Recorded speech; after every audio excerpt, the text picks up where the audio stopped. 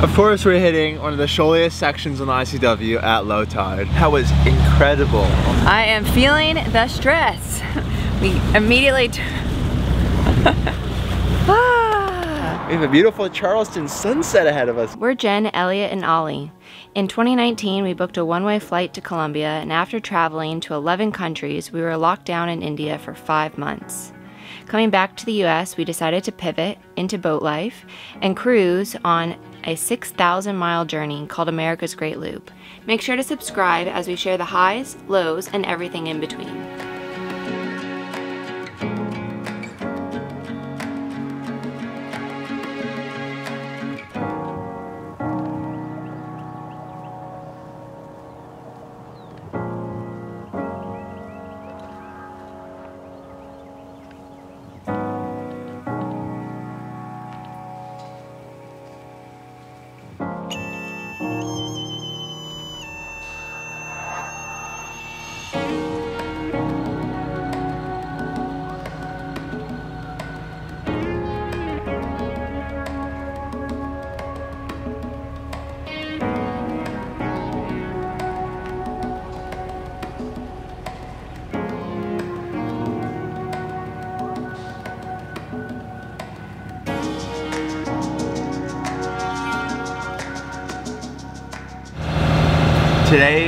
Have an extremely long day. We are heading from Beaufort to Charleston. And you might say, that's not that long. With trawler speed, it's like 10 hours, 10 or 12 hours, depending on tides and everything. And we have quite a few challenges today. We're gonna have lots of shoaling. We're gonna have Elliott's Cut, where there's insane amounts of current. And on top of all that, we are docking in Charleston and the current and the nice Charleston boats, something to look forward to.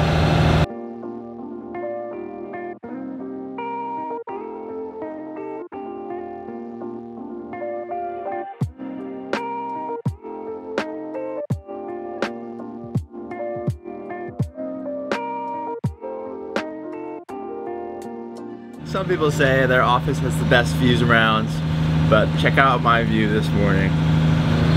Ollie is such a fantastic boat dog. She just loves it. All right, Skipper, where are we going today? We're on a dolphin hunt. This is a dolphin cruise. We'll find some treats and, uh, and some, some good long walks, right? Yeah.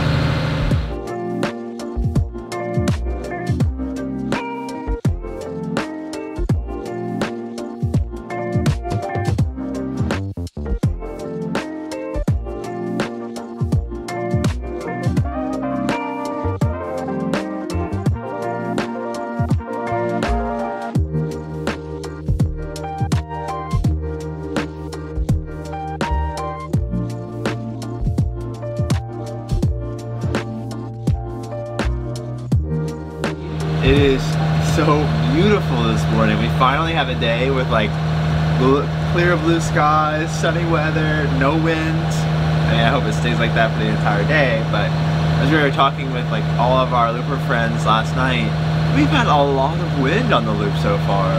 It just seems like, you know, every other day there's like quite a bit of wind. And uh, people were saying it's kind of hard to you know, enjoy some of the stops because, you know, when it's you're there when it's windy and you're moving when it's sunny. So it's hard to really enjoy, you know, the sunny days exploring a city or a town or just, you know, trails or whatever. So yeah, it's nice to have a very nice day and I hope that we have many more of these upcoming uh, here on this section of the loop because, ooh, it is cute. And I'm surprised there's not a lot of fishermen out. It's a Sunday morning. It is pretty cold though. It's like 46 degrees right now, so maybe that's why. Just put on layers.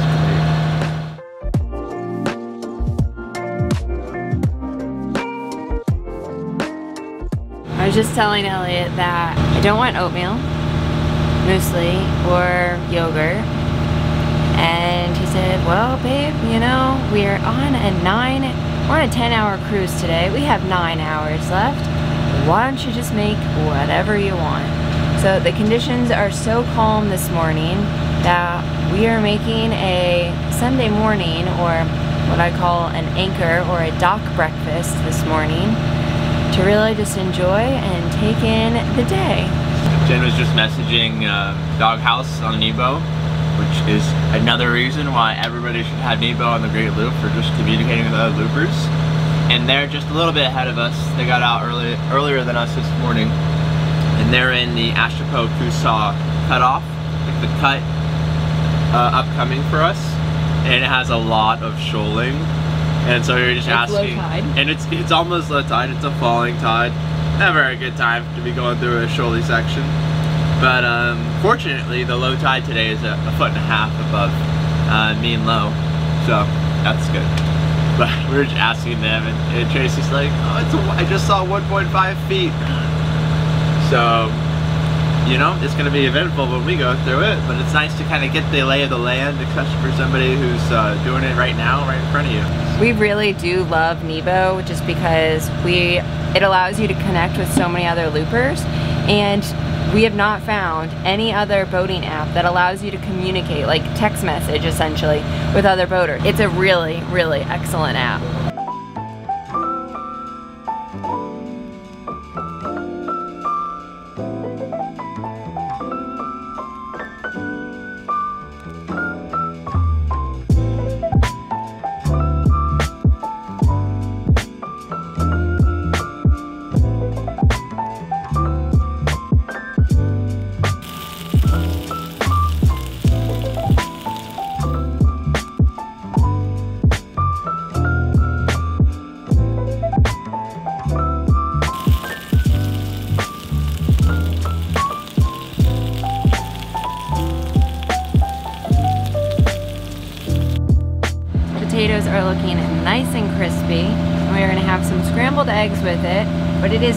Just in time for us to go through this cut.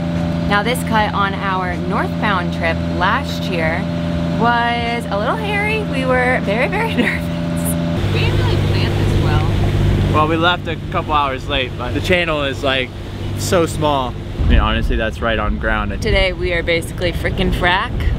We don't know what we're doing, so. Oh boy, I I I can I I I remember how nervous we were because we were seeing like half a foot under our keel and this time going around we have low tide again. Yay! So we're just gonna make the most most of it. We're gonna go super slow and hopefully we don't run aground. But if not, it's okay because the tide will just come back in and it'll raise us up and all will be well in the world again. So it's okay. All right, it is time for our shoaling. Of course, we're hitting one of the shoaliest sections on the ICW at low tide. You know, the, the problem when you have a long day is you can't really plan your tides as much as you would want to. So, you just gotta hit it when you hit it. We are using Aquamaps right now and Bob 423's tracks. We're just gonna follow that and go extremely slow because if you slightly bump something when you're going slow, you can just slightly reverse off of it. If you bump something really hard, going really fast, might be kind of hard to get off.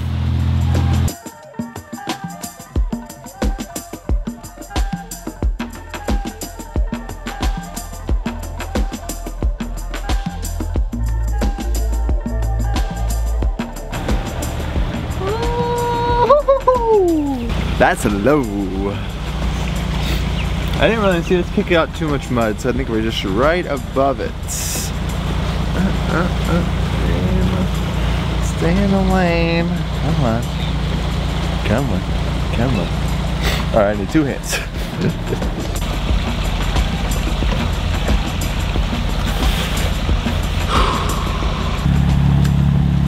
Breakfast! what? Just in time for some stress. Yeah, I think I'm gonna marry you one day. Great. I was planning on that. oh my god.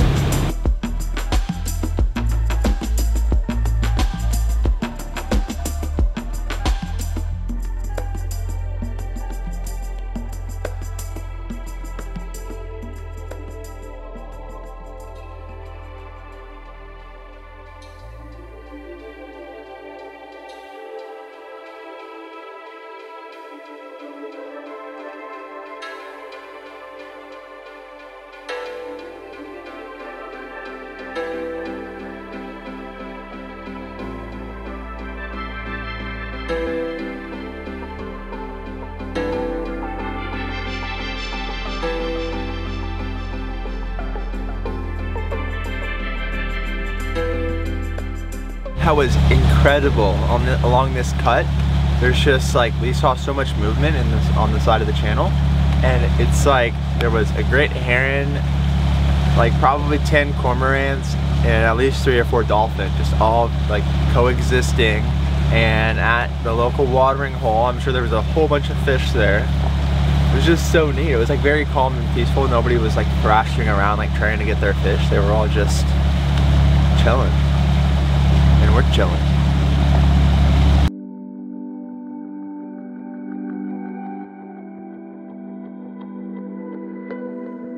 We are coming up to our second shoaly section of the day. We made it past the first cut just fine. We saw four feet at the entrance, which was like six inches under our keel. Pretty shallow. Uh, and then about like five feet the lowest sections throughout, so not too bad. Um, and now we're going through Fenwick Cut, and you can always tell when have a shoaly section because Aquamaps has the U.S. Army Corps of Engineer surveys, and they do a really good job of, of relief shading. So here in Fenwick Cut we have a, a, lot of red, quite a bit of shoaling on the east side of it, uh, where it's all red, very narrow. And with your eyes you can see it too. Um, of course it's low tide, so there's no other time to travel on the ICW than low tide, right? But it is beautiful. Like there in this area, like just coming through uh, with this cruise, like it's there's a noticeable difference. There's a lot more clay, a lot more sand, and a lot of these really large trees. It's really pretty.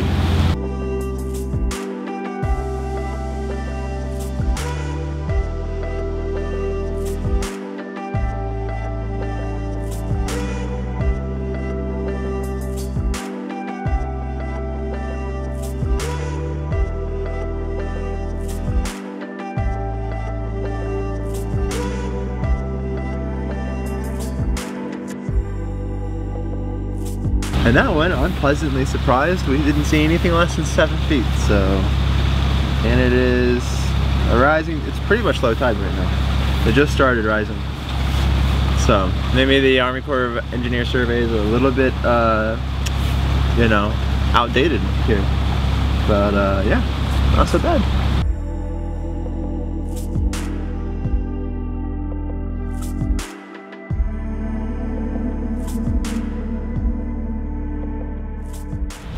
We are coming to our hopefully final area of shoaling for the day. Coming through Watts Cut and I mean on Aquamaps it's all red.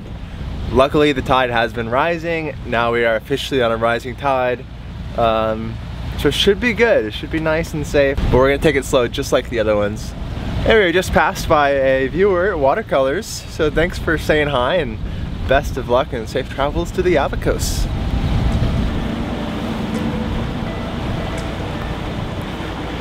So funny. The the uh, inlet side on this, it's like 30 feet coming in. So you're like, oh, this should be fine. It's gonna be great. And it's probably gonna be a good five or six feet the entire way.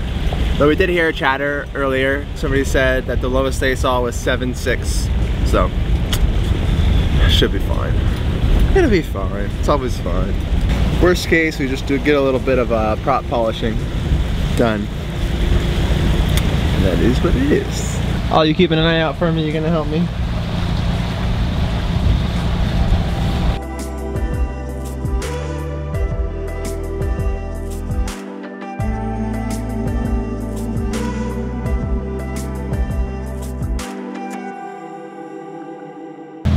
We made it through. We had a very, very close pass there. Uh, Pastor Motor Vessel was coming from behind. They literally passed us with like two feet on the side. But they were very courteous about it and we were chatting about it, so we knew they were coming and everything. But it was like the closest pass I think we've ever we've ever done. And now we have kind of a smooth cruise to Charleston um, until Elliott's cut. And uh, we're trying to plan our time to get there around slack tide. But I think if we're a little bit late, we'll have the current with us. I think. Sometimes it's hard to judge and hard to figure it out. We'll see. We have a looper behind us, getting ready to pass, and a giant fishing boat. Just spraying up so much wake. Hopefully they give us a slow pass. We'll see. So there's a bit of a trick to slow passes that we figured out. There's the people that just really don't care, they'll blow by you. You know, there's nothing you can do about that. The, and then there's the people that will call you out on the radio, and those people are amazing. because the communication is great. And then there's a third set of people that if you take the initiative and slow down and kind of pull off to the side of the channel and make it very clear that you would like a slow pass because you are now slowing down to let them pass, a lot of those people will just slow down right when they get to you and then speed, speed up right past, giving you a nice slow pass. So that's kind of like an intention, you know, you give them the intention and they reciprocate. Sometimes we'll even go neutral, you know, just let them coast by and then we'll pivot in and turn in and then cross their wake and everything's good.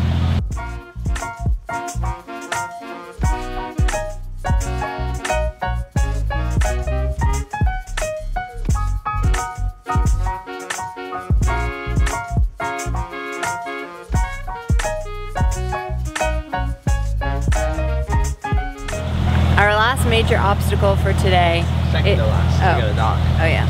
Our second last obstacle for today is going through Elliott's Cut.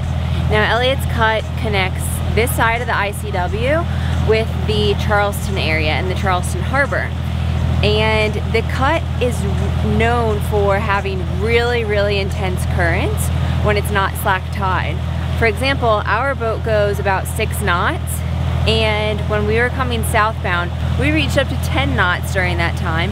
And we had barnacles on our propeller. So whatever we were trying to push pivot, we were probably not actually going six knots. That's what we go like now. So it really, really affects the boat. So we tried to time it so that we are going through at slack tide. Otherwise, you want to time it where you're getting pushed with the current because fighting it would be a nightmare. And that is coming up pretty soon.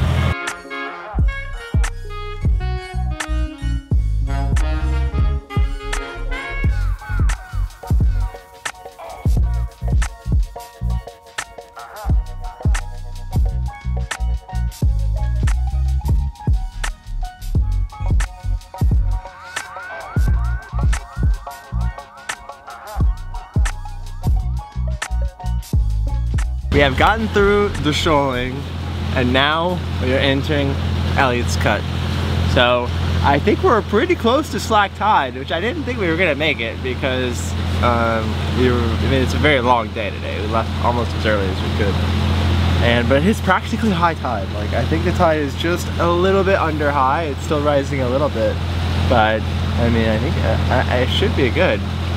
It's very narrow coming in, and actually the very first time we came by here, I missed it. Because I wasn't looking at our like route planner. Because it's like just kind of tucked in a little bit. We're going 6.4 knots right now. So when we are inching the cuts. In five, four, three, two, one and three quarters. We're here. Not going any faster.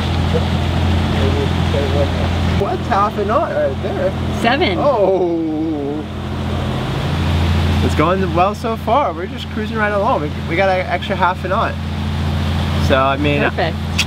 it doesn't get much better than this. I mean, we got some small boat traffic. But it's kind of cool here because there's rocks on the sides and then surrounded by very beautiful houses. Um, and it's not very long either.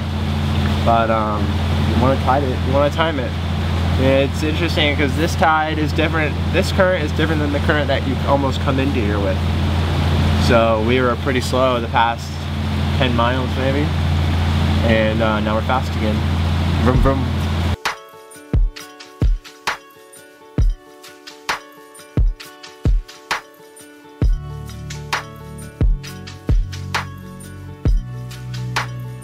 It's a knot and a half, really. I was comparing it to when we were first coming in, which was six and a half, but that's not our cruising speed. Our cruising speed is like six.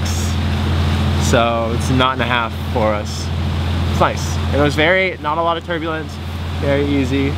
Now, on to our final challenge of the day. We're going to be docking with some current. Hopefully we're on the face dock. We just love being on the face dock because it's just with you know you just turn into the current and the wind and uh, typically you know it's just a lot less things to think about slips are harder I think so hopefully we're on the face dock and if not we're just gonna you know Take it slower than slow. It's our motto.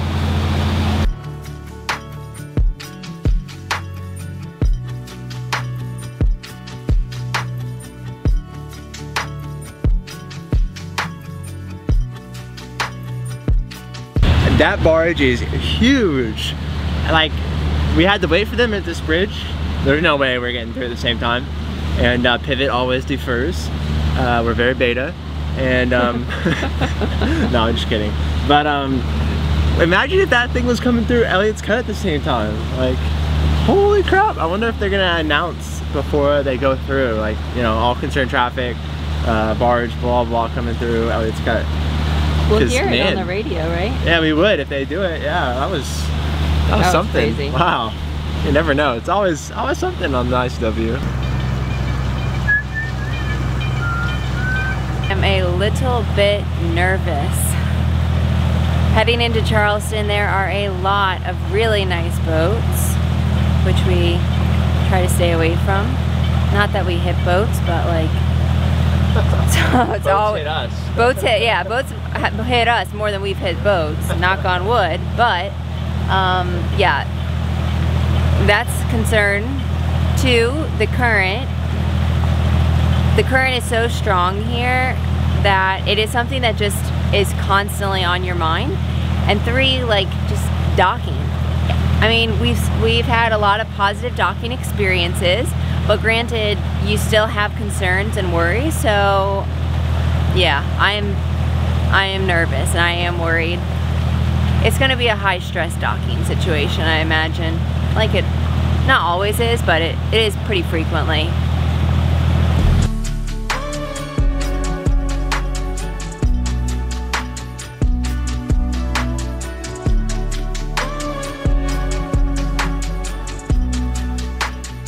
I am feeling the stress. We immediately That helping? no. if it wasn't that we were still doing this, it would, but not now. yeah, we are in the middle of all the boats. There's lots of boats, lots of action. There's a lot of big, big, big, big, big boats. And on in other news, one of our viewers uh, just said hi to us. They're in the trolley Oh, behind yeah. us with their, with their family. that was that so was kind. Really, really nice of them. Yeah. And in other, other news, we have a sailboat anchored right in the middle of the channel. So just another day in the Charleston Anchorage. So in case you didn't know, the Charleston Anchorage is kind of tough to anchor in because it is notorious for stuff on the bottom that will basically take your anchor uh, and, and you know it'll foul up your anchor, anchor so you won't be able to pull it up.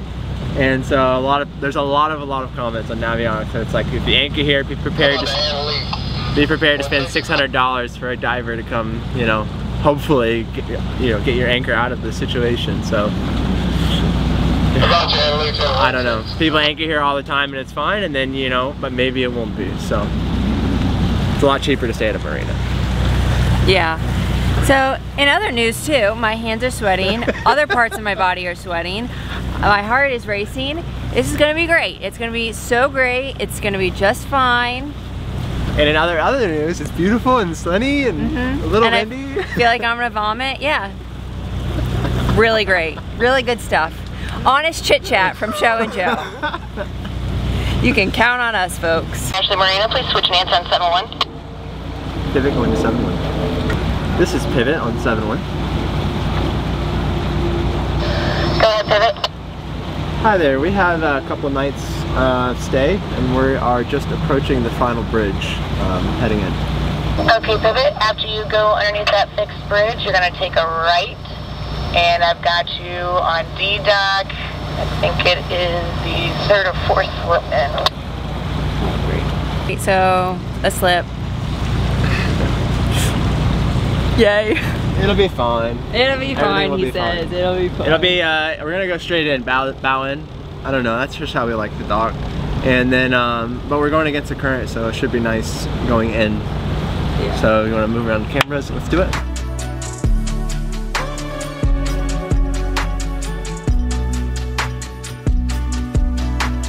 Um, Now I have to go check all the lines. we made it.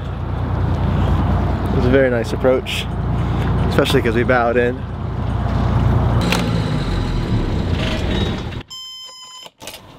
And that is our day cruising to Charleston from Beaufort. I mean, pivots off, lines are on. I'd say it was a very successful cruise. Didn't run aground, didn't crash in Elliott's Cut, didn't crash into the dock.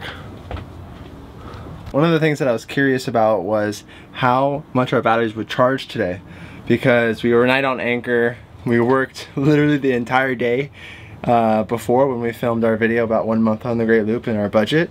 Um, so we were just like just straight draw and power all day and we recharged our dinghy battery. So I was curious when we left, we we're at 53%. And all throughout today, wow, 97% by the end of the day. Now, you can't really tell a lot from, from, percentages. The important thing to note here is we have 600 amp hours of lithium battery, which means we charged over 300 amp hours today while we were cruising from solar and alternator charging. Now we did use a lot of power while we were charging, that's why I say over 300, because we were running Jen's laptop, charging that all day, the iPad Pro, charging that all day, and we topped off the dinghy, dinghy battery as well. So it was a great day for some energy today. How you feeling, Joe? How you feeling, Ollie?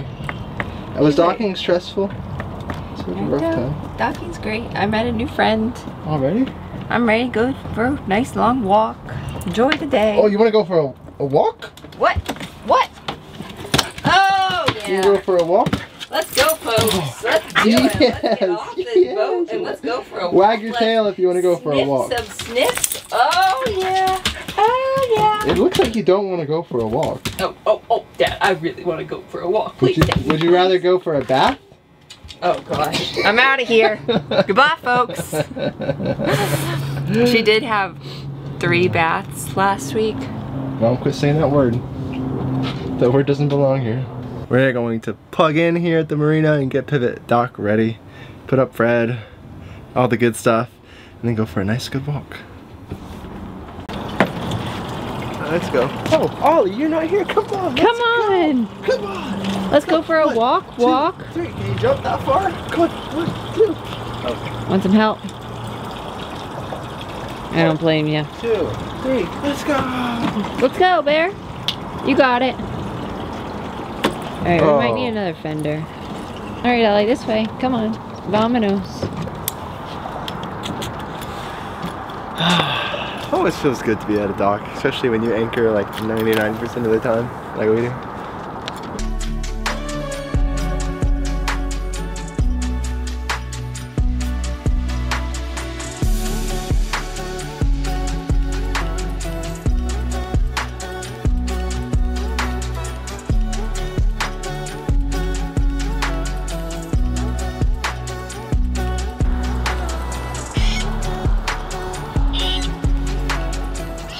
We just completed our two mile walk. Not too shabby. Could could have been longer, but we do have some work to do and dinner to make. so two miles is what it was. I think probably another mile we would have been in the heart of downtown. Yeah. So it's not too far from where we are and it's nice. There's a highway here, but there's a walkway the entire way, so it's nice. And then you walk along the water. Yeah. We have a beautiful Charleston sunset ahead of us tonight. I can't wait. Yeah, it's gonna be gorgeous. I'm cooking mushroom stroganoff. Elliot's probably gonna hate it because it has a lot of mushrooms in it. It is in the Instant Pot, so it should be pretty easy. It'll cook up pretty fast. And that's just the meal that I want tonight because I am very tired. Very, very tired. Just the meal we're looking for.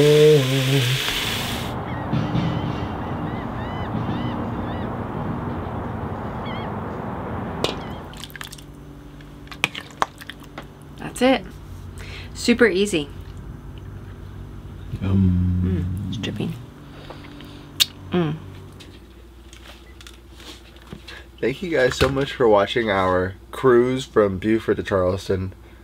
Honestly, it went off pretty much without a hitch, so I'm kind of waiting for the other shoe to drop. But it was great.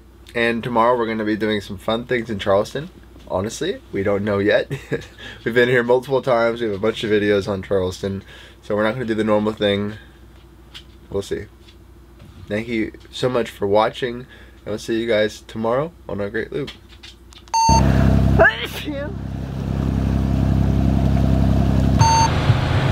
Where are we going today, Captain? To the treats. Say it again. Where are we going today, Captain? We're gonna go find some dolphins. We're gonna go get some treats. We're gonna go get some treats. We're gonna find all the good walks. Hmm. Yeah. Yes, we are. He wants breakfast. I said, let's get the drone out. And he's like, let's have breakfast. I really do love Nebo just for that feature. It's so great. I mean, we we use it. s wait, are we supposed to be over there? Green and a red? Oh, yeah? Oh, sure, sure.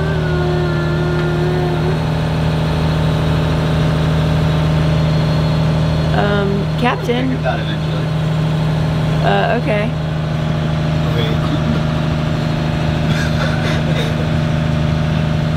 Yeah. Great. Uh, yeah. Yeah, she get to the cash when she walk. She look like a bad when she walk. She get to the cash when she walk. She look like One and three quarters. One and a half. 1.25. One. 0.75. 0.66. 0.5. 0.33. Point three. Point two. Point one. Where?